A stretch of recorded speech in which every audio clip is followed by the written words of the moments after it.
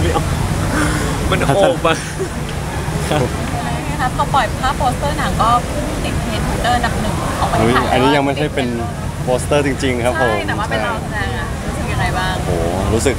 ตื่นเต้นครับผมแล้วก็รู้สึกกดดันด้วย เพราะว่าอย่างที่บอกมันไม่ใช่ซีรีส์มันเป็นภาพยนตร์เรื่องแรกของพวกเรา แล้วก็ภาพยนตร์มันต้องแบบว่าเล่นชัดเล่นละเอียดมากกว่าอะไรอย่างเงี้ยครับผมแต่รู้สึกว่าดีใจมากๆที่ได้เล่นเรื่องนี้ครับผม อย่างตัวนวนิยายเองก็มีคนอ่านเยอะด้วยเรื่องนี้ใช่ใช่ครับก็เป็นแฟนเป็นแฟนของพวกเราก็ก็ไปตามอ่านเหมือนกันครับแล้วแฟนก็ตอนแรกก็บอกว่าอยากให้หนูกับเฮียมาเล่นจังในวันนี้ก็ได้เล่นแล้วครับ ก็หวังว่าทุกคนจะรอติดตามหนูกับเฮียก็รู้สึกว่าก็เป็นประสบการณ์ที่ใหม่มากๆสำหรับผมเลยครับ เพราะว่าภาพยนตร์เรื่องแรกแล้วก็ แนวอีกครับ แนวค่อนข้างออกแบบสยองขวัญซึ่งก็ไม่เคยเล่นเหมือนกันครับ น่าจะยากพอสมควรเลย แต่ก็น่าน่าสนใจมากเพราะมันเป็นแบบพีเรียดแบบโรแมนติกสยองขวัญอะไรเงี้ยใช่เรามีความกลัวอะไรอย่างงี้ด้วยไหมคะเวลาเล่นสยองขวัญอะไรอย่างเงี้ยอยากเล่นเป็นผีกันทั้งสองคนเลยครับตอนนี้ แย่งกันเป็นผีแล้ว เราถือว่าเป็นผีแต่ก็น่าสนุกครับผมถามว่า ถ้าจำลองสถานการณ์แล้วเป็นฉากที่ต้องเจอหรือว่าเหตุการณ์ก็น่าจะได้อารมณ์อยู่นะ ก็น่าจะกลัวอยู่เหมือนกันน่าจะกลัวไม่ได้เป็นคนที่กลัวอยู่แล้วนะคะถ้าเป็นก็พัดจำสแคร์ตกใจ ปกติหนังผีอะผมไม่ดูเลยครับ โดยเฉพาะที่แบบว่าไปชอบโผชวนหนูแออกมาชวนหนูไปม่เลยสวนสนุกไปแบบว่าบ้านผีสิงไม่ไปไม่เล่นไม่ชอบไม่ชอบแบบกลัวผี แต่ในชีวิตจริงก็นึกถึงเหตุการณ์นั้นก็จะกลัวเวลาที่แบบเวลาที่อยู่คนเดียวหรือว่าเวลาที่ได้ยินเสียงอะไรแปลกๆไงเขาจะกลัว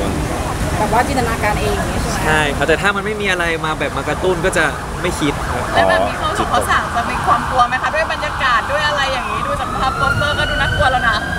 ก็น่าจะกลัวอยู่เหมือนกันครับนี่ตรงนี้ก็มืดๆเลยไม่รู้มีอะไรอยู่ข้างในหรือเปล่าไม่มี แล้วอย่างนี้ปกติเวลาแบบว่ากลัวผีอะเราทำยังไงให้เราหายกลัวกลัวผีทำยังไงกลัวผมผมอยากเล่าอยู่ดีนึกออกเรื่องหนึงมันมีของเล่นที่มันเป็นแบบ จระเข้ที่มันมีเสียงที่จิ้มจิ้มๆอะเฮียเคยเล่าเคยเล่าให้หนูฟังน่ากลัวมากแล้วแบบ เวลาเปิดมันจะมีเสียงเราะหัวเราะแบบเสียงจระเข้แล้วตอนนั้นหลับไปแล้วอะแล้วตอนนั้นอยู่คนเดียวด้วยนั่นเปิดเองแต่มันอ้าอยู่ครับผมแต่มันไม่มีเสียงแต่ตกดึกประมาณจำเวลาไม่ได้ช่วงดึกมันก็ร้องแอะแอะแอะแอะแล้วผมเข้าใจแล้วเวลาเราต้องตามหาแล้วเราต้องไปจบมันอะเราก็เดินออกไป แล้วมันก็ไม่มีอะไรเกิดขึ้น เออเอออะไรแต่อันเนี้ยน่ากลัวมากน่ากลัวที่น่าเฮียกลัวเล่ามากแล้วแบบว่าตอนนั้นขนลุกเลยแบบสู้เลยอะแต่ดูดิวไม่เคยเจอ สวดครับถ่ายแว่นตา แต่ดูดิวไม่เคยเจอแบบแต่ก็ตา อะไรอย่างเงี้ยเนาะผมถ้าผมเคยได้ยินเสียงแว่วๆครับ แต่ว่า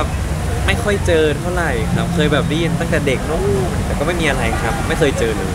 ไม่แต่ก็ก่อนเริ่มเล่นเราก็จะไหว้สิ่งศักดิ์สิทธิ์แหละครับผมไหว้สถานที่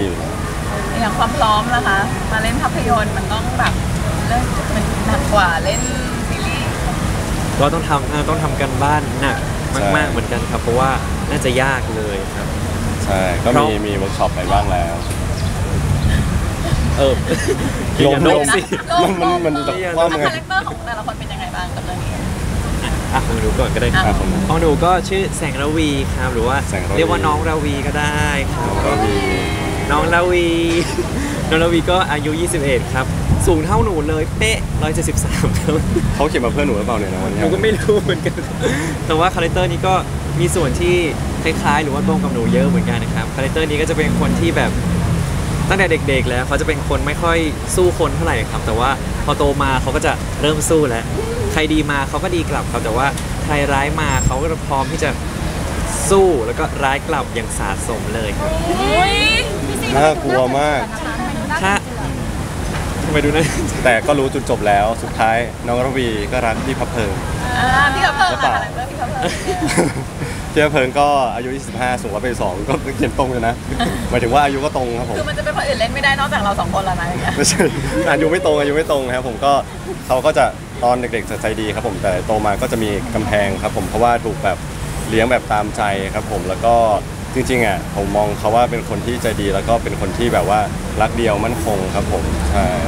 ซึ่งอารมณ์อารมณ์เหมือนมีความขรึมมีเรียนเหมือนกันอะซึ่งแบบเขาเป็นคนเนี้ยบด้วยเรียบร้อย หัวจรดเท้าอะไรเงี้ยครับใช่จริงๆ เรื่องนี้เป็นงานด่วน เราเทคิวให้เต็มที่เลยวิเทคิวให้เต็มที่ไหมงานด่วน ไม่ด่วนขนาดนั้นเพิ่งทราบมาทราบมาระยะหนึ่งแล้วครับผมก็มีการเวิร์กช็อปมาบ้างแล้วด้วยครับผมแล้วก็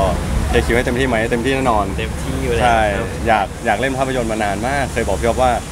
อยากเล่นภาพยนตร์เพราะอยากเห็นแบบเราอยู่ในจอใหญ่ที่ใหญ่กว่าโทรทัศน์อะไรเงี้ย ก็ได้มีโอกาสเล่นเรื่องนี้อย่างหลายคนเห็นมันเป็นหนังสยองขวัญความจิ้นความฟินก็มีความคาดหวังเกิดขึ้นว่ามันจะมีไหมคะเรื่องนี้คิดว่ามีไหมมี มี มีมีอะไรครับ ยังไงก็ต้องมีครับ ใช่ ถ้าไม่มีนุนิวก็จะเสกให้มีครับหรือว่าเสกให้มีเลยเหรอ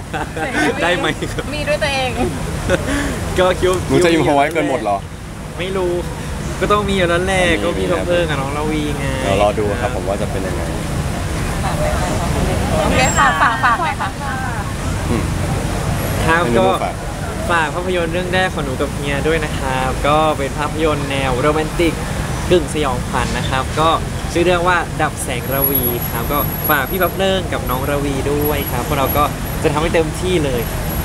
ช่ครับผมแล้วก็ฝากนักแสดงทุกคนด้วย แล้วก็ได้มีโอกาสกับร่วมงานแบบรุ่นใหญ่เรารู้สึกตื่นเต้นมาก ก็จะเก็บประสบการณ์แบบให้มากที่สุดเนาะหนูเนาะก็ฝากด้วยครับดับแสงระวีนะคะฝากเมเจอร์ด้วย